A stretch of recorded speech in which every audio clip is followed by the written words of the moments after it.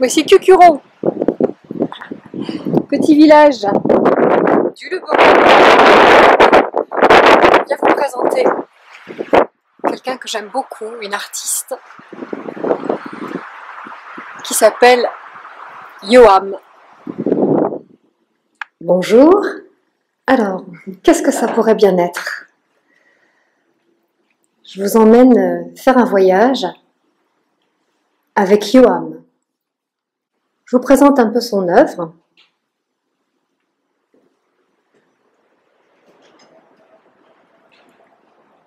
C'est quoi un mandala, Yoam? C'est toute une histoire. C'est toute une histoire, c'est tout un monde, c'est tout un voyage, justement. Un mandala. Un mandala, c'est une représentation symbolique de l'univers qui va de, de l'infiniment petit à l'infiniment grand. C'est toujours une forme euh, basée sur un, un cercle avec un point central, un cœur en fait, et une ouverture, un rayonnement vers l'extérieur.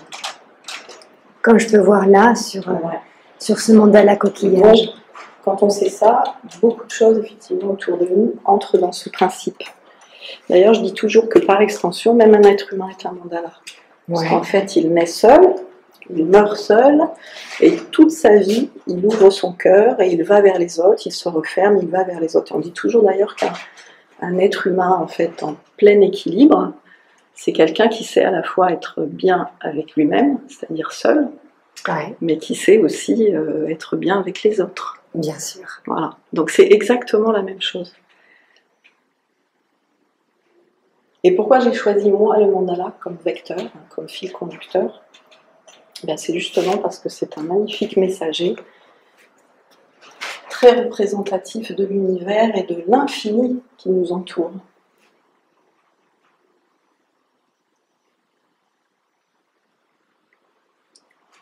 On va aller s'asseoir et on va te rencontrer, Yo. Là, nous sommes dans ta salle d'exposition qui se passe à Cucuron, donc euh, dans le Luberon, au donjon de, de Cucuron. Voilà. Voilà, je voulais vous présenter euh, une très, très belle amie qui euh, est une artiste. Alors pourquoi j'ai envie de, voilà, de, proposer euh, un partage de, gens que j'aime, des, euh, des, choses qu'ils qu'ils font que, que, que j'apprécie? Parce que, voilà, nous sommes un tout. Vous avez pu l'entendre nombreuses fois dans mes, dans mes vidéos. Nous sommes un tout. Nous sommes nourris par, par effectivement une nourriture terrestre qui va passer par notre digestif. Nous sommes nourris par, euh, par notre lien avec le ciel, une certaine spiritualité. Après, on met les mots qu'on veut sur le spiritualité, mais en tout cas, la spiritualité n'étant pas la religion, mais juste euh, une ouverture vers euh, notre soi supérieur.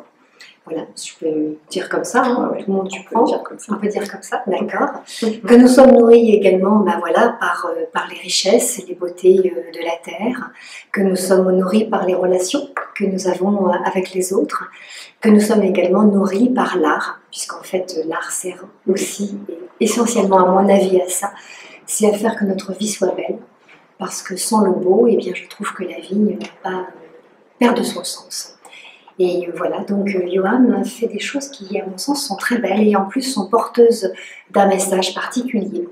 Et, euh, et ce sont ces mandalas dont euh, voilà, je vais te demander de nous parler. euh, voilà. Tu nous en as dit déjà un petit quelque chose sur quelques, quelques œuvres qu'on a pu voir, à savoir que les œuvres que vous venez de voir là sont faites par, par Johan, mais pas seulement, parce qu'en fait cette exposition est un peu particulière et c'est aussi ce qui fait sa, voilà, son, originalité.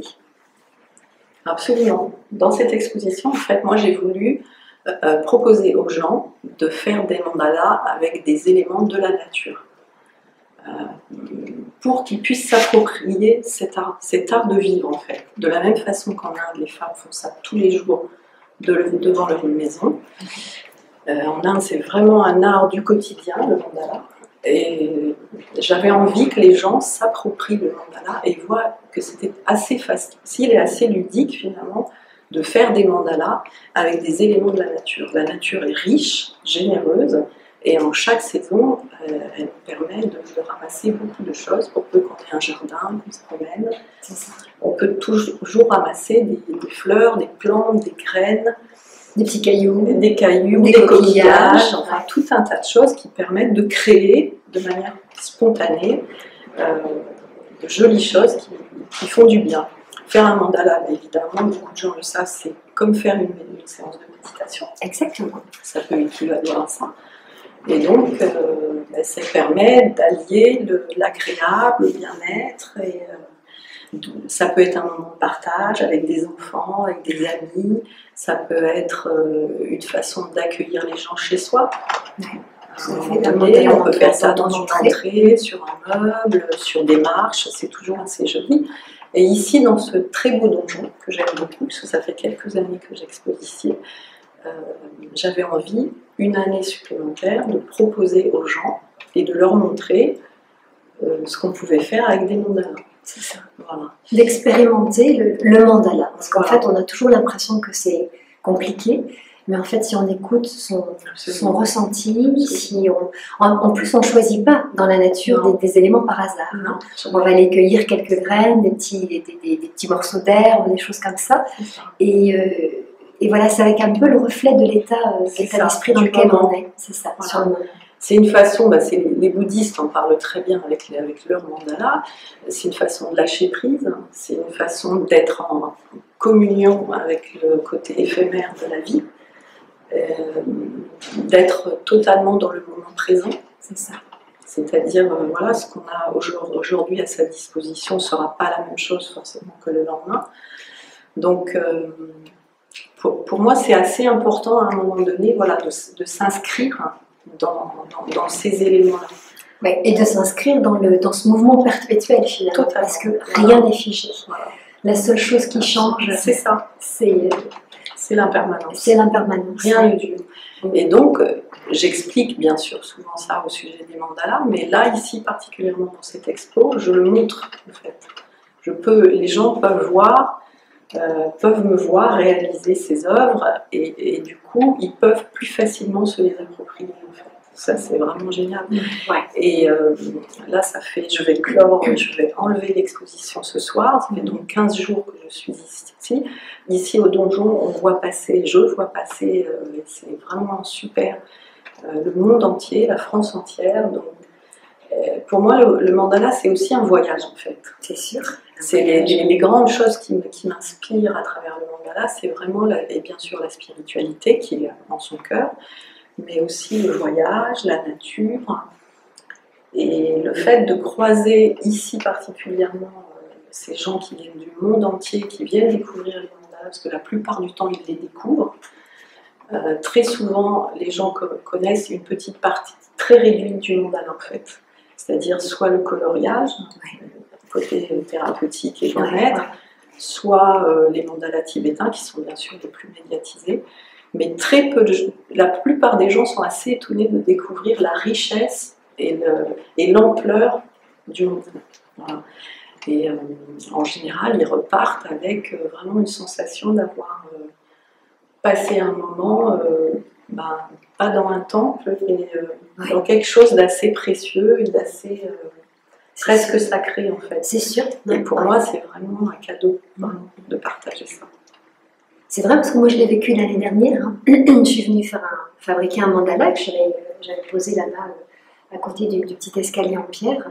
Et c'est vrai quand on, quand on est dans un mandala, on est vraiment en connexion avec soi.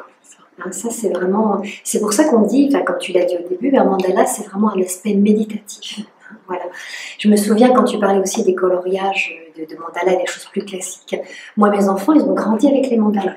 Et en fonction de, de, de- dans quel état ils étaient. De toute façon, ils avaient donc la, la mandala, euh, donc la page blanche, hein, juste les, les pourtours du mandala, crayon, feutre, enfin, voilà, C'est tout ça. un tas de un panel de couleurs à disposition.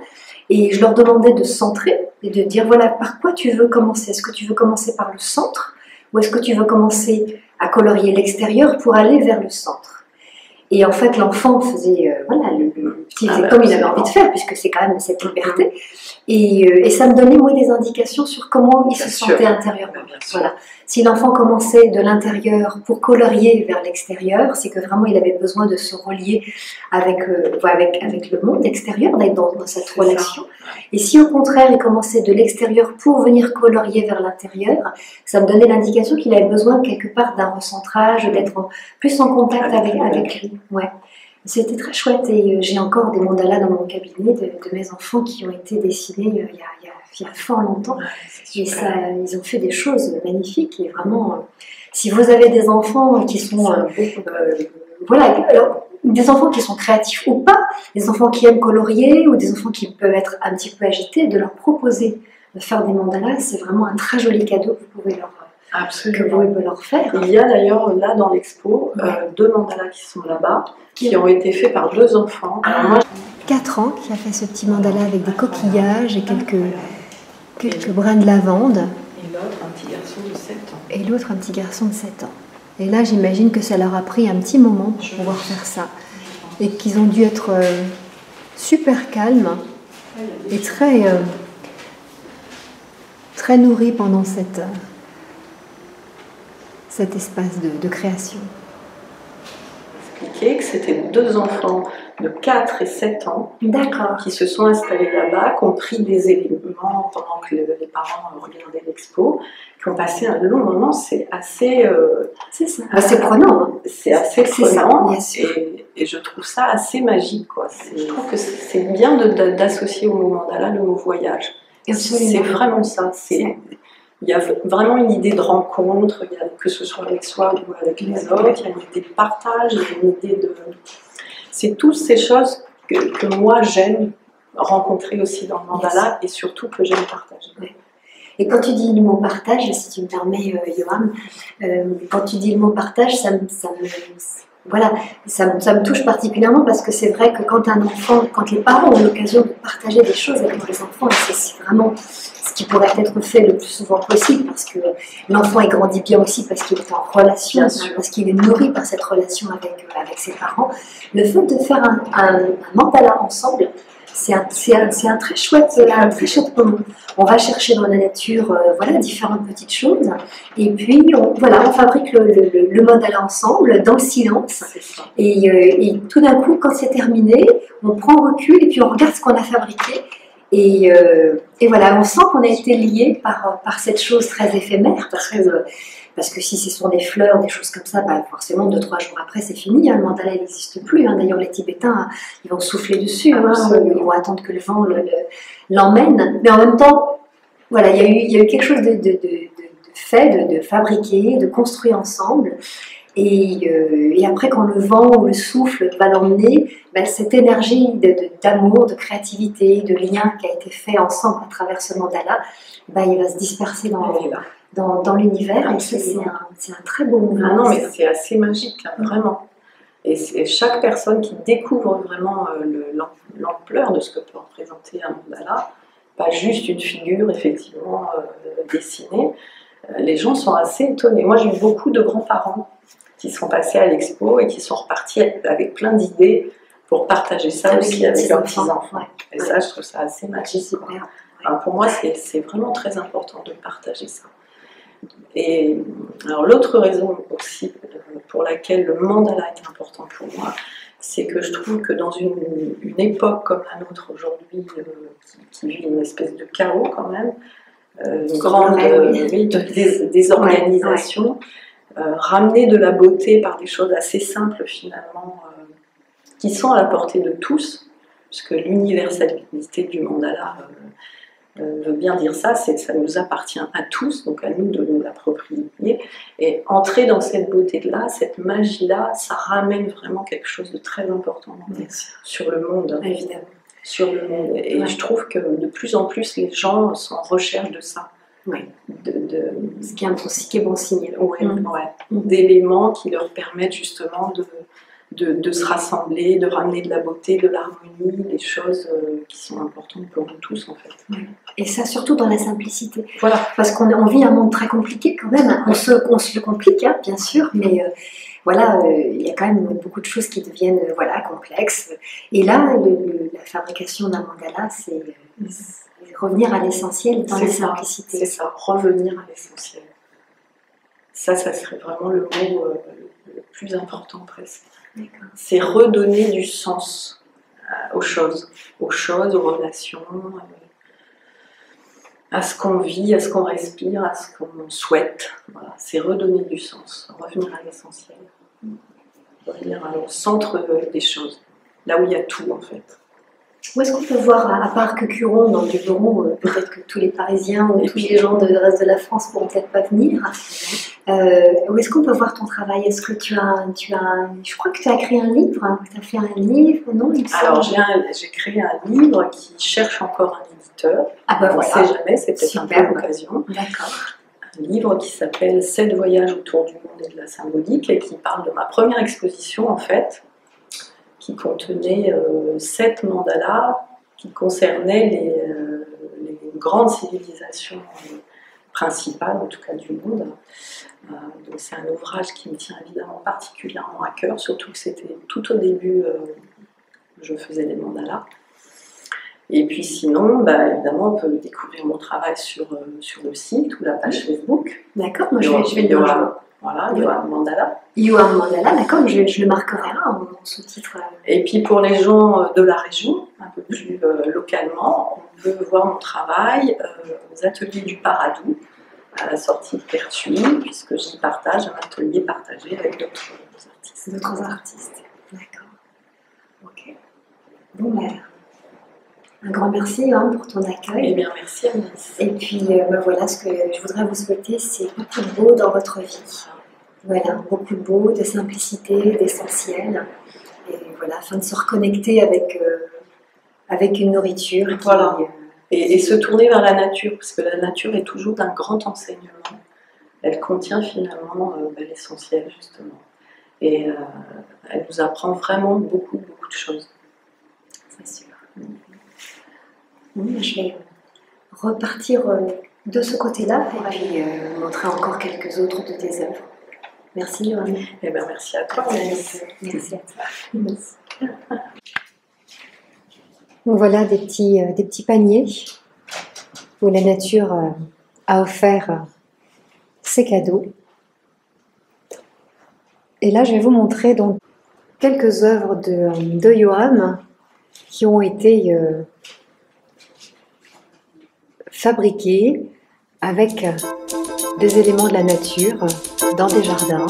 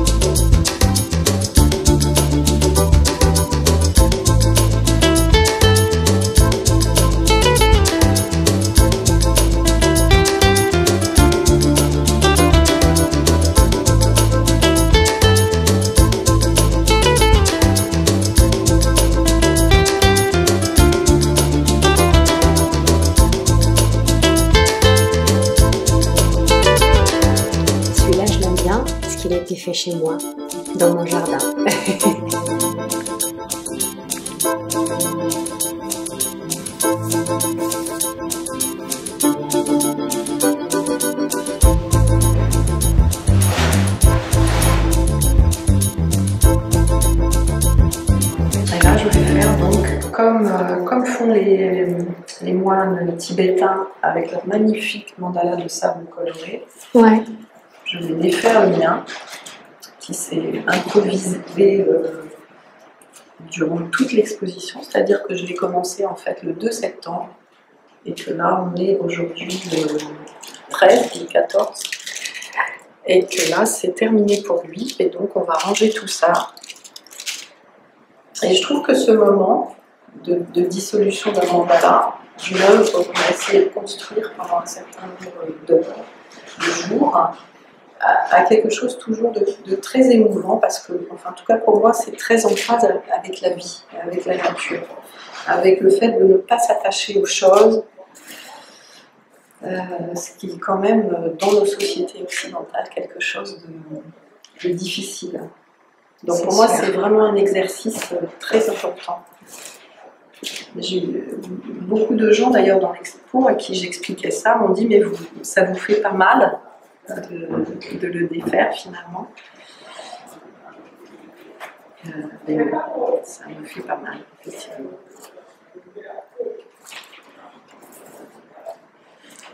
Parce qu'en fait, quand on défait, quand on laisse le vide, eh bien, il y a quelque chose de neuf qui peut apparaître derrière. Ouais.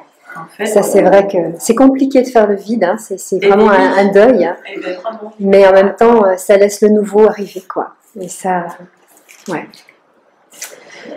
Euh, En même temps, je comprends, et ça a été le cas pour moi aussi, enfin, c'est un, comment dire, il faut apprivoiser ça, le fait de ne pas s'attacher aux choses, le fait de les lâcher, le fait de les... euh, c'est pour ça que ce, travail avec les mandalas, il est vraiment important. C'est, pour moi, c'est hyper important d'être cohérente, en fait, par rapport à mon- au fait de cette activité avec les mandalas. Et dans ma vie, j'essaie de vraiment être en cohérence. C'est vraiment très important. Bien sûr. La cohérence, ouais. C'est pas forcément quelque chose de facile, mais voilà. Le fait d'être dans ce mouvement, d'essayer chaque en fait. jour, ouais, ouais. C'est un travail. Parce que sinon, je ne pourrais pas faire ça. En fait, les, les, les moines tibétains, ils utilisent une petite balayette. Ils ont une petite balayette et hop, ils balayent. Ça va très très vite. C'est assez surprenant la première fois, effectivement, à voir. Mais des fois, je trouve qu'un peu ce désordre, après avoir vu quelque chose de très ordonné, euh, ça peut être aussi assez, sympa, assez joli à voir. C'est une étape, en fait. C'est comme tout. hein. C'est une étape. Après, si on laissait des enfants avec ça, ils seraient beaucoup plus à l'aise que nous. Les enfants, ils n'ont pas ce problème avec euh, sauter à pieds joints dans quelque chose, euh, ça. euh, se laisser spontanément euh, aller. Nous, on a beaucoup plus de mal avec ce genre de choses. C'est dans nos éducations, on ne nous habitue pas vraiment à faire ça. Bon. Et puis en fait, là, je vais garder certains éléments qui en tout cas sont secs, les autres évidemment vont disparaître. Et puis bah, à un autre moment, quelque part ailleurs, un autre mandala, euh, C'est ça, va ressurgir euh, de. quelque chose C'est ça. viendra. Ah oui, Et demain, eh bien, le donjon sera vide des mandalas. Et une autre exposition euh, prendra la suite. Je crois que c'est une exposition de, de peinture et de photos. ok. Non, on va te laisser dans, ton, Voilà. dans la désorganisation ou destruction de ton, de ton œuvre. Merci, Johan. Merci Agnès.